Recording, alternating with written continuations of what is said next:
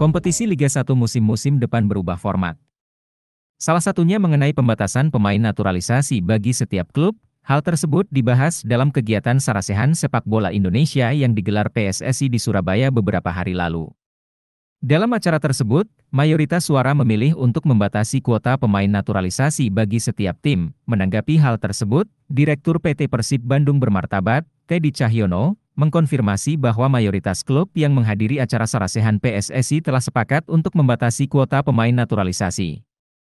Bahkan kesepakatan tersebut berbunyi bahwa setiap tim dapat memiliki pemain naturalisasi maksimal dua pemain, apabila regulasi ini ditetapkan pada musim depan maka Persib harus melepas salah satu pemain naturalisasinya.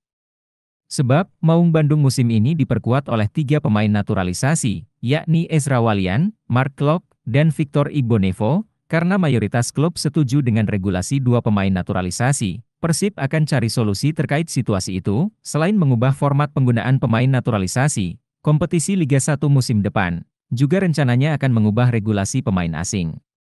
Seperti yang sudah disepakati dalam acara Sarasehan PSSI, bahwa mayoritas tim telah sepakat untuk mengubah kuota penggunaan pemain asing menjadi lima pemain. Sebelumnya, di Liga 1 musim ini, regulasi penggunaan pemain asing adalah empat pemain, termasuk minimal satu pemain asing dari negara kawasan Asia. Menurutnya, dengan penambahan jumlah pemain asing di setiap klub akan memberikan dampak positif bagi setiap tim.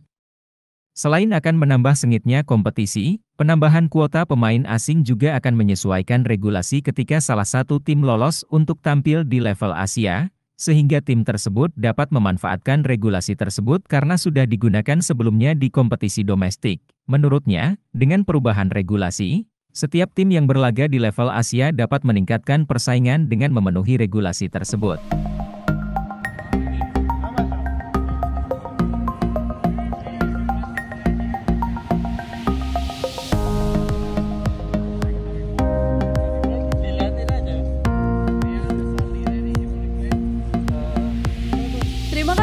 Terima kasih sudah nonton. Jangan lupa like, subscribe, dan share ya.